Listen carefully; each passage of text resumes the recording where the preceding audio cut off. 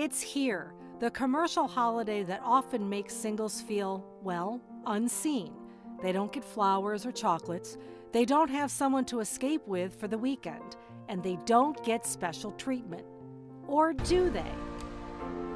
According to Jack LaFleur, a registered psychotherapist in Ottawa, singles can tackle this holiday with confidence based on the very same principles offered in this popular relationship book, The Five Love Languages. Can you help give the audience a different perspective for singles on this commercial coupled holiday? So we our society doesn't value singles as much as it seems to value couples. And so on Valentine's Day, if you happen to be single, for a lot of people who may have you know their own uh, difficulties with comparison, right, comparing themselves to others, which is a form of self-judgment, uh, they can go down a little bit of a hole. Bring all of that love and consideration to yourself, right? If you can't be with the one you love, love the one you're with.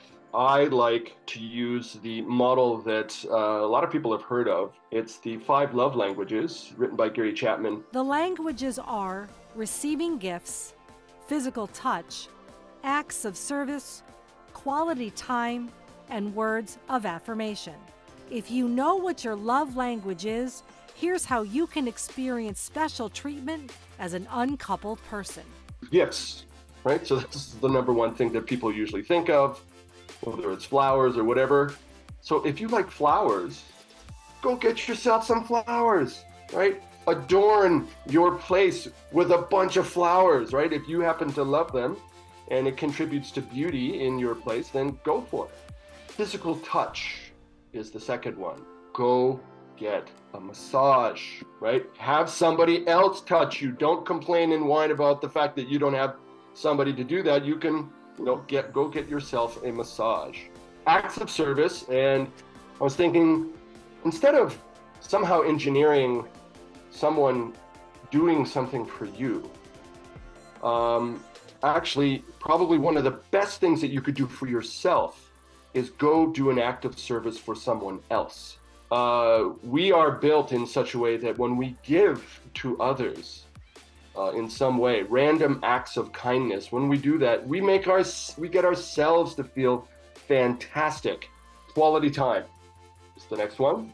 Singles, right? You've probably developed some uh, routine or practice around doing things on your own, whether it's going to a restaurant by yourself, going to the library, you know, like what works for your nervous system. For instance, you know, deciding to go, you know, into nature for an afternoon or a spa something that's going to kind of have a really soothing, healing, calming effect, right, on your mind, your emotions, your nervous system in general. Words of affirmation. So, for instance, an old staple is I'm enough, I matter, just as I am, despite my imperfections.